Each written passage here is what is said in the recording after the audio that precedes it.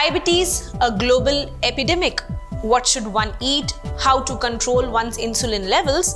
All these are being answered in various previous studies. Will saffron be of any help? Hello and welcome to Medical Dialogues, your daily dose of health and medical news.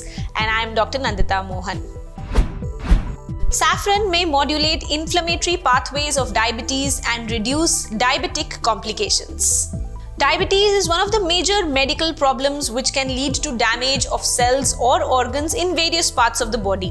Its complications are reported from time to time, and a recent study published in the Diabetes and Metabolic Syndrome Clinical Research and Reviews Journal suggests that saffron can modulate the inflammatory pathways in patients with diabetes and that its mechanism in turn may help to halt the progression of diabetes and its related complications.